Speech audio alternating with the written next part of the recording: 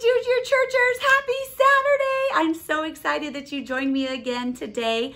I'm in my room and I'm quietly reading my Bible and doing my daily devotions. But if you watch that video, you would see that just a few minutes ago when I was downstairs trying to do my devotions, I was so distracted. Everything was so distracting. I was thirsty. I was hungry. I got a paper cut. My kids needed to talk to me. You know what? None of those things by themselves are bad. But it was bad and the devil used them because he was trying to get my mind and my thoughts off of the Lord. He didn't want me to read the Bible. And so he sent a bunch of distractions.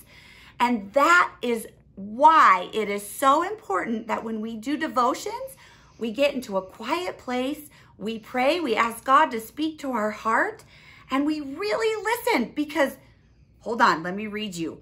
In 1 Kings 19, chapter, chapter 19, verse 11 and 12, let's see if the God, if God talks really loud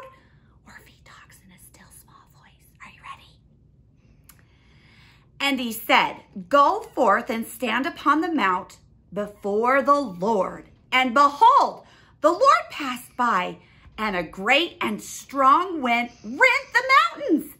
And he brake in pieces the rocks before the Lord. The Lord must be really boisterous and loud, right? Let's find out. But the Lord was not in the wind.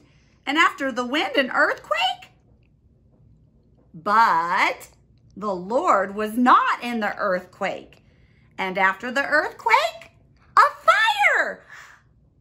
But the Lord was not in the fire. And after the fire, wait for it, a still small voice. A still small voice, almost like a whisper. Wow. In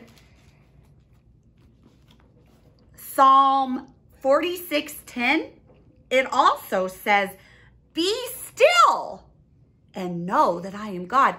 So if we want to hear that still small voice in God's word talking to our hearts so that we can be better and grow closer to Him, we have to be still too. And we have to listen carefully. And we have to be where it's quiet and there's no distractions. All right, guys, I'm so excited that you joined me again, and I hope that it was really beneficial. It didn't take much time, but it's an important lesson for us to learn. We got to get quiet and hear God, all right? Okay, guys, I love you. I hope that you have a great Saturday, and I look forward to seeing you tomorrow in church and then again next Saturday. I'm pretty sure our devotions have something to do with Christmas lights. I'll see you soon. I love you.